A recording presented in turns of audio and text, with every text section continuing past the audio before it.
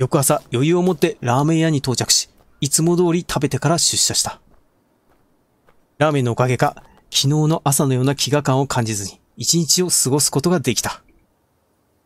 どうやらラーメンの効果は一日程度は持つらしい。すっげえ腹持ちいいな。定時。俺は忙しそうな職場からそっと抜け出した。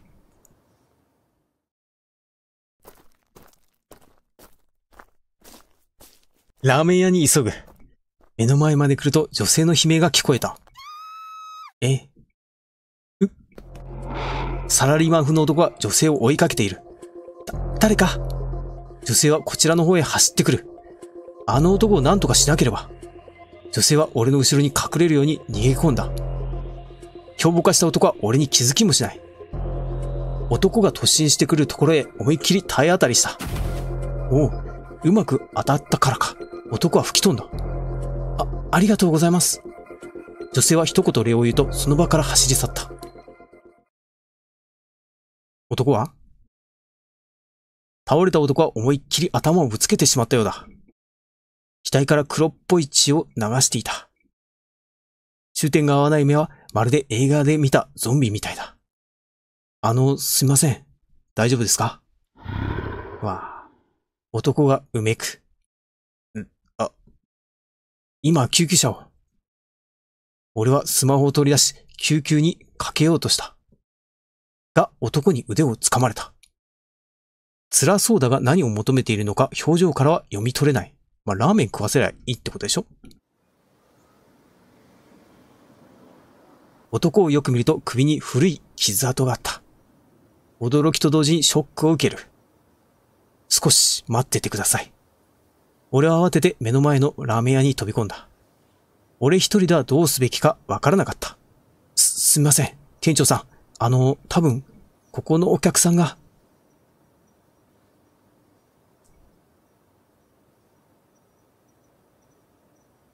店長は慣れた手つきで男を支え、店の裏に運んだ。男は抵抗することもなく、うつろな目で店長に運ばれた。もしかしてこういうことよくあるのかな？あの空腹感に耐えられなかったということだろうか。いつか俺に噛みついた男と同様、この男性にも同情の気持ちが込み上げる。俺もいつかああなった時は、きっとこの天使とか誰かが俺を止めて。お？鈍い音が鳴った。何かが頬に張り付く。男の額は割れていた。呆然とする俺の前で天使は男の服を剥ぎ、手足から胴体へ淡々と解体していく。もしかして材料男から流れ出る黒っぽい血液がすべてラーメン屋脇の排水口へと流れ込んでいった。もしかしてこの男ラーメンにされちゃう？え、あの、昔あの、筋肉マンで見たあの、あの、ブロッケンマンがラーメンマンにラーメンにされちゃうみたいな。俺は天使の背中越しに小さくなっていく男を、ただ、風景のように眺めることしかできなかった。解体された45リッターのポリ袋いっぱいに詰められた男は、そのままラーメン屋の裏にある巨大な冷蔵庫に収納された。庫内はたくさんの保冷された豚骨が並んでおり、その隙間にも似たような黒いポリ袋が収められている。ラーメン屋の廃棄物と一緒に処分するつもりなのだろうか。それとも、な、なんで？天使は無言だった。この後どのように処分するのか考えただけで吐き気がした。こんなのすぐにバレますよ。そしたらあなた人を殺したことに。人。そう言って自分でも違和感を感じた。果たして人だったろうか。そして自分もな。理性をなくして女性に襲いかかる男の顔は、人とはかけ離れているように見えたからだ。うちの常連が何人いると思う？唐突に天使が口を開いた。え？天使は俺の方をただ黙って見ていた。両手は血に染まって真っ赤になり、紺色の雲エプロンも一層濃い色に濡れていた。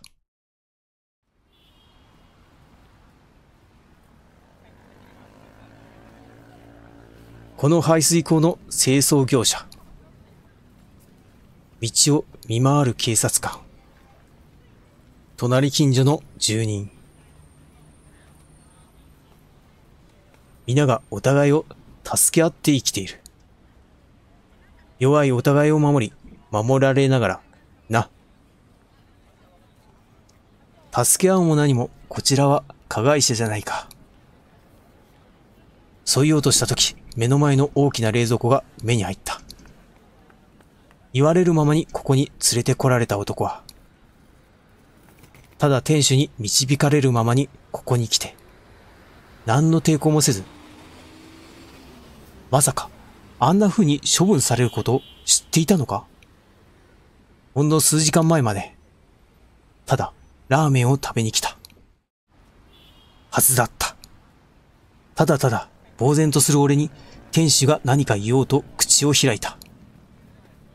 ああ、それと、俺たちは。その時、急に店の裏口を叩く音がした。まずい。ラーメンを出さないと。ぼ、僕、手伝います。あ、それがいいよ。ついにここでもう、うん、就職しちゃえ。とっさに自分も手伝うと言ってしまった。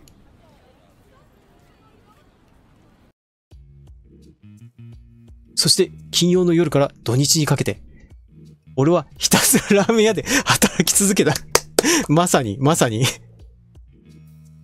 なんかさっきそんなようなこと言ったな。ガチンコラーメンのとか 自分でもよくわからない。店主のあんな話を聞いたからだろうか。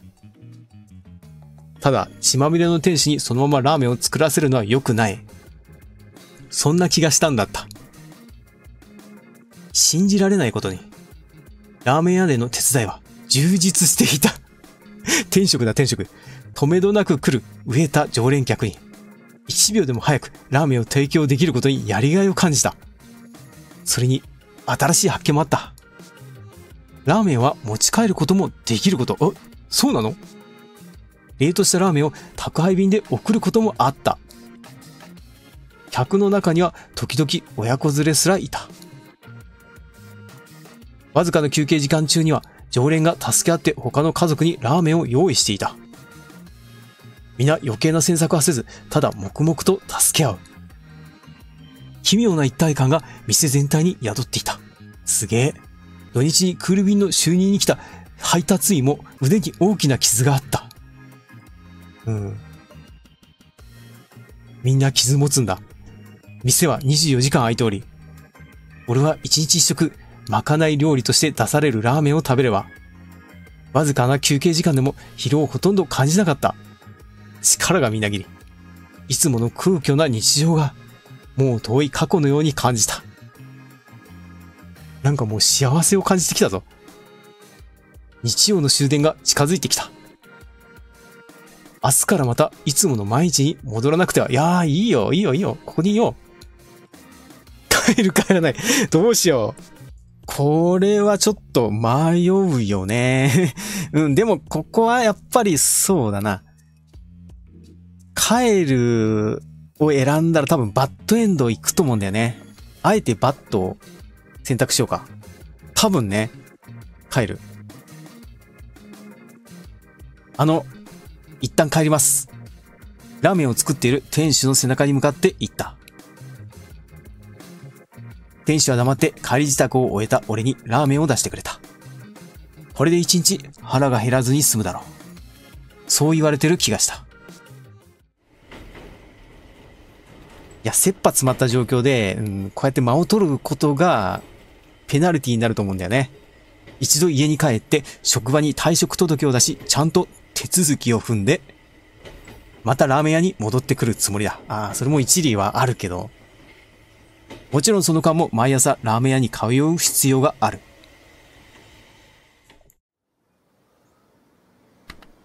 それから数日経ったある日、数日、のんびりしてるな。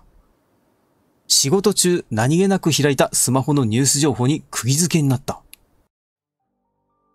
東京、ほにゃらら区、住宅街の、え、ラーメン屋全焼？あそこが。命綱が。ラーメン屋は前の日曜日まで俺がいたあの店だった。だよね。記事では調理中に何らかの不具合により小さな爆発が発生し、人や建物に次々と引火、火事になったと記載されている。店長や犠牲となった人々の安否も気になる。え、店長がお亡くなりになったらもうこれは絶望だね。でもさ、これ。うん。なんかお食事どころがあそこだけとは思えないよね。多分人もいっぱいいるだろうしね。感染者が。それに、あのラーメンがなくなったら俺たちは。おい、大丈夫か？また顔色悪いぞ。気がつくと同僚の山口が隣にいた。ああ、この事故な。俺もさっき見たよ。かわいそうに。どうやら俺が見ていたニュース記事が目に入ったようだ。そうだよな。具合悪いなら早退すんだぞ。じゃ。山口はそのまま会議室の方へ歩いていった。あの周辺には家族がたくさん住んでいるはずだった。あー、感染者たちがね。あのラーメンが食べられなくなったら、俺は、いや、家族は、間違いなく暴走するよね。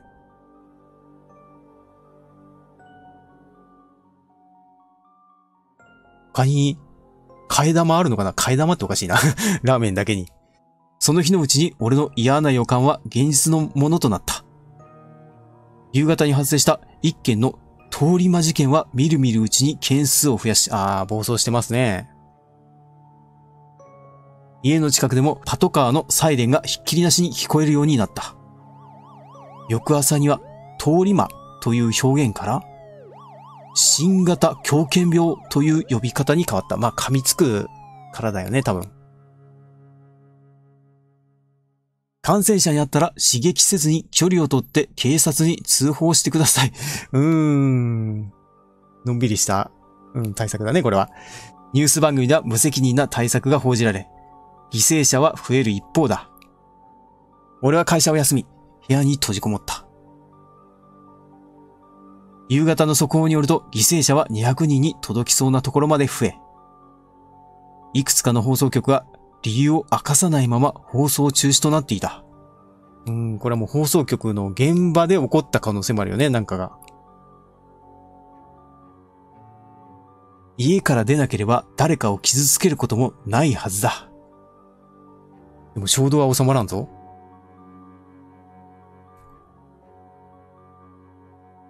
うわ。3日 ?3 日も経ったんだ。早くも家の食料は尽きた。あ、そうか、ラーメンを、あ、携帯食として持ってたかもね。そもそも普通の食事では空腹感を満たすことができなくなっていた。あのラーメン、あれでないと。空腹の時間が長引くにつれ、腕の傷跡は急速に全身へと広がっていった。もう家から出たくても出られるはずがない。もう、あの店が復帰したとしてももうあそこまでたどり着けない。テレビはもう映らなくなっていた。ええー、外の世界で何が起こっているのか何もわからない。あ、もう崩壊寸前かも。空腹感を紛らわせるために水を飲んで過ごした。それからさらに時間が流れた。おーい。来て。ん？起きて？来てか。なんだ？もう大丈夫。え、救援？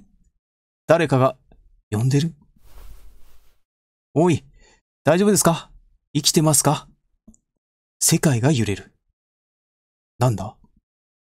息あるぞ。まだ生きてる。山下さん、起きて。助けに来ましたよ。お山下さん。はっと目を開けると、見知らぬ人が俺をゆすっていた。ああ、よかった。ほら、これを一口食べて。あ、あ。話そうとしたが喉が張り付いて声が出ない。いいから食べて。ほら。腹減っただろ。見つかってよかった。これもしかして懐かしい匂いがする。この匂い、なんだっけ男のうち一人が俺を抱き起こしてくれた。そうだ。腹が減っていたんだ。干からびた口の中に唾液が戻ってくる気がした。さあ、これを。あ 目玉？それに驚く記録はもう残っていなかった。俺はそれを口に入れ、ゆっくりと味わって咀嚼した。そ、音やめて、音やめて。あのラーメンと同じ味だ。食べた食べた。助かってよかった。これ、救援者は、え、家族？いわゆる、懐かしい香りが口から鼻へと抜けていく。体の中心からわずかな力が戻ってくるようだ。俺を助けた男女はいずれも顔や首筋が赤黒く染まっており、体中にあの傷跡が広がっている。ってことは、この方たちがもう世界を牛耳ったみたいになってない？うまいよな。にこやかに話す男の全身からあの匂いがする。そうか。この匂いは、血の匂いだ。あの火事で一気に世界が変わってさ。俺らの食べ物には困らなくなったよ。ああ、おっぴらに食ってるってことか。男は別の何かを取り出して口に入れた。むっと、不臭が立ち込める。元気が出てきたかい？ほら、まだたくさんあるよ。男は俺に別の何かを取り出した。外の世界がどうなってしまったか。俺はもう考えないことにして、その小さな日課を口に入れた。ああ、おなじみの画面だ。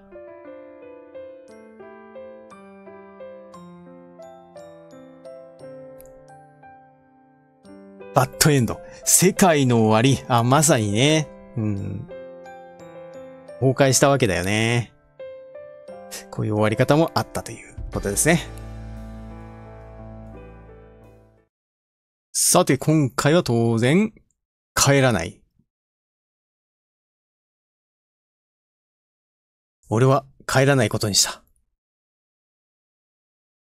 職場にも、日常にも、俺の代わりがたくさんいる。家で帰れを待つ人ももういない。香りもマリエも遠くに行ってしまう。これまでの日常に俺を待つ人はいなかったんだ。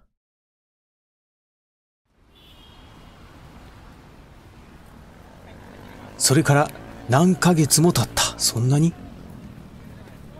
職場からは何の連絡もなかった。ええー、前の俺ならそれなりのショックを受けた気がするが、今はそんなことよりも毎日大勢の家族を支えることで必死だった。ええー、じゃあ働いてるんだよね、ここで。最近ではこのコミュニティで俺の役割が確立し始めていた。最初はただ店の手伝いをするだけだったが、だんだんと天使から責任ある仕事を任されるようになった。孤立する家族がいないか。ラーメン屋を中心とした地域のつながりを使った情報収集。あ、やっぱりあるんだよね、コミュニティが。感染の報告を受けたら、速やかにその人物を家族に迎え入れた。俺の新しい仕事はそれらの真新しい家族を取りこぼすことなく救う手助けをすることだった。思いのほかちゃんとしてる。周りにテレビや SNS で家族が起こしたと思われる事故も見かけた。彼らの約半分は司法に関わる家族によって事実が調整される。ええー、そこまで抱き込んでんだ。というか、もう、司法の人たちがそれそのものだからね。自治、病院、その他生活に必要なすべてのインフラの機関に、家族の一部が関わっていた。そこに人種や性別、学歴、経済的格差はなく、家族は家族の人生を互いに守り合う仕組みになっていた。それ作り上げた人もすごいよね。この家族のコミュニティに限っては、同族を保護し、文化的な生活を送ることができるシステムが完成されていた。よかったね、そこにね、入れて。ラーメンを作りながら時々感じることがあった。すべての人類がこの家族という組織に組み込まれれば、争いや貧困のない素晴らしい世界になりそうなのに でも、うん、油断したら人に食らいつくんでしょ？だが、全くの他人に牙を向けることができるかと言われると。俺にはできないと感じた。よほど切羽詰まっていない限りは、あ最初に 襲ってきた男ね、この人。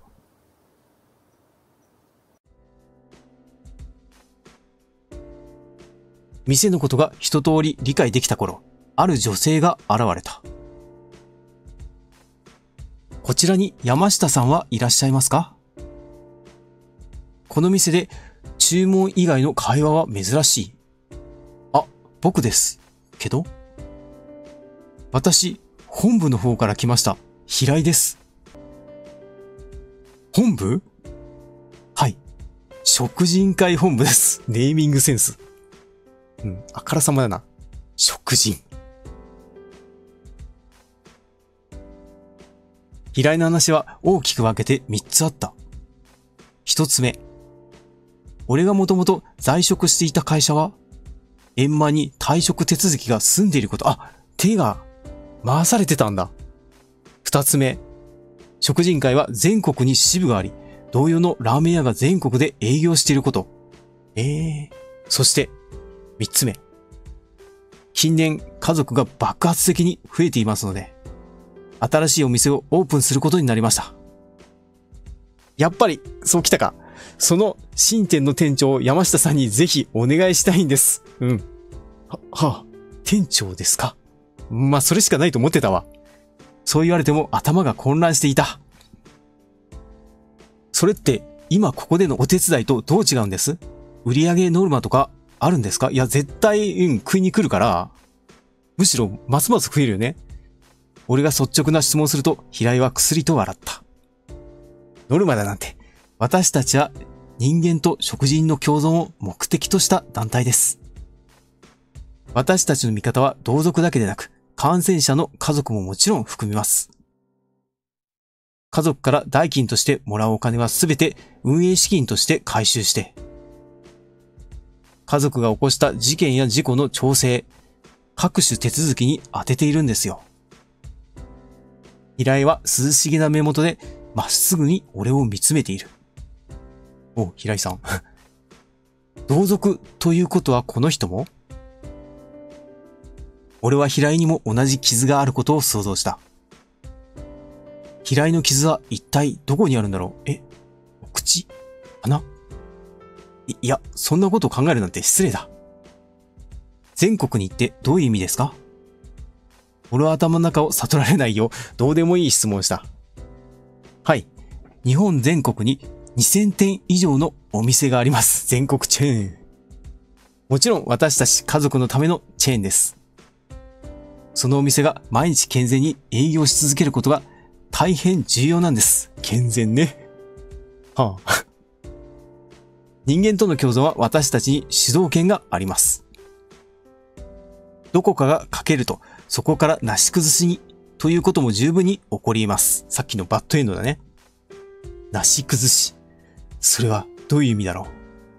えー、っと、唐突の話に頭が混乱していた。ん？大丈夫です。山下さんにはラーメンを作ってもらう。まあ、そこで修行してたわけだからな、ここでしばらく。私たち本部は世の中の均衡を保つ。ただ、それだけです。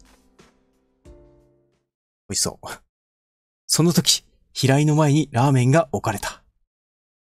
食人会と私が全力でサポートしますので、ぜひご検討ください。そう言われるとともに、平井はマスクに指をかけた。それでは、いただきます。あー、なるほど。なんか、すごい、むしろセクシーですね。平井がマスクを外すと、口元の傷があらわになった。大きな傷が唇を横断している。家族の証だ。平井は上品に割り箸を割り、ラーメンを食べ始めた。ビジネスの話をする平井とは違う。食べ始めた平井の横顔は、必死で生きている獰猛さと生命力を感じる。ガツガツしてんだ。平井の美しさに見惚れながら俺はあることに気がついた。そういえば、マリエや香りのことをすっかり忘れていた。二人は元気にしているだろうか。平井の食べる姿をずっとそばで見ていたい。そう強く思った。おこれはどうやらエンディングですね。スタッフロールだな、これは。あ、これで第一章巻なんだ。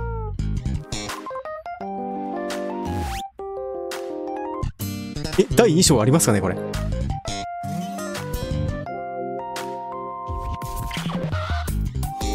いや、なかなか良かったですね。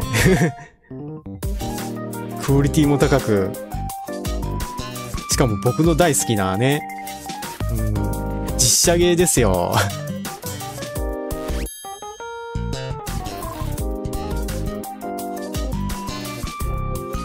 ホラーといってもね、うん、むちゃくちゃなホラーというわけでもないので、うん、まあ、苦手な人でもプレイできるような仕様ではありましたね。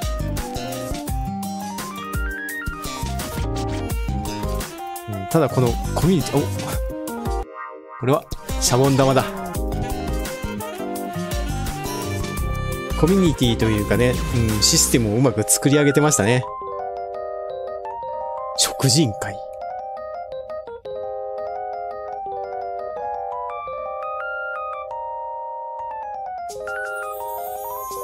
ということは第2章？これは楽しみですね。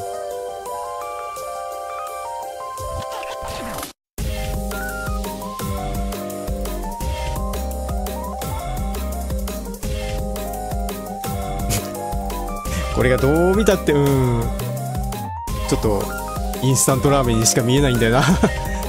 あ、平井さんかなこれ。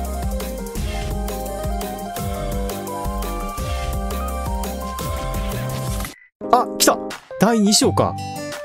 やれるんだもうやれるんですね。すごいすごいすごい。はい。それでは、今回はここまで。次回はね、2章に進みます。続く。